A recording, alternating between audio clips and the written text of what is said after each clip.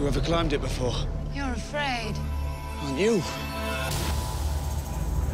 We will do whatever we can to give Lord Frey what he needs. Not what, who.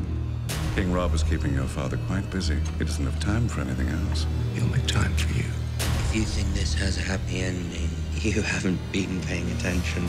Sink your metal deep. And if you fall, don't scream. There's someone out there.